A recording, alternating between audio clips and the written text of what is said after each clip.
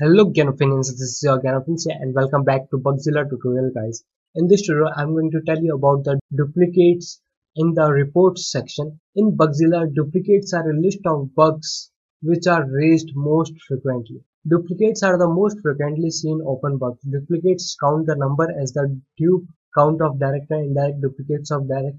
A defect uh, report this information is helpful to minimize the number of duplicate defects.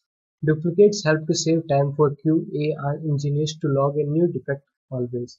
Duplicates also help stakeholders to find out the root cause if the same defects are reopened repeatedly rather than just a new defect.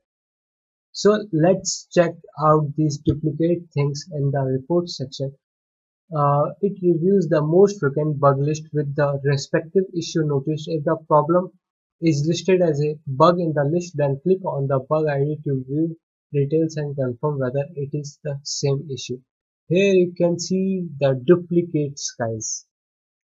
Uh, here it is a, bug ID I guess. This is the dupe count.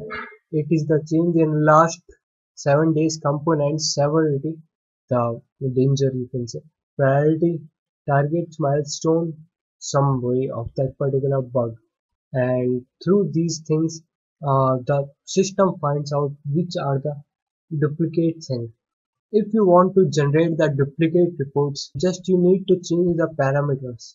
Uh, the you I mean you need to choose the parameters here. And maximum rows open bugs only they change bug list these restrict to products uh, if it filters out the table based on specific product and components, the user can choose from single or multiple products by pressing CTRL or click.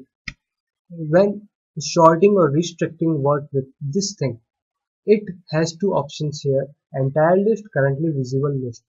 This is the maximum rows thing. If the user can give a number to see the number of defects in one page. It is a change column in, is change in the last days the number of days a user wants to review the changes that have taken place. This is the open bugs only. The, this will filter out the bugs those are closed. The result will have list of only open defects. When you will click this change button, all those filter will change and the bug list will be filtered out. You will uh, see the duplicates according to these filters here. Now here you can see this is the filter as I choose these filters, it lowers me the results of duplicate reports. That's how the duplicate reports work. Well, I hope you understood about the duplicate reports. If you got any question or query regarding to this thing, then you can ask me in the comment section below. Well, thanks for watching the video and don't forget to subscribe to my channel.